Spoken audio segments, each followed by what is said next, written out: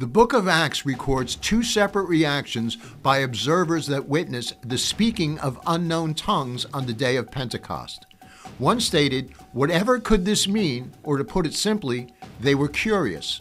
Yet there was an opposite reaction by others who mocked, They are full of new wine. Interestingly, there appears to be similar reactions in many churches today. Some are curious and desire to know more while others sneer and mock what they do not comprehend.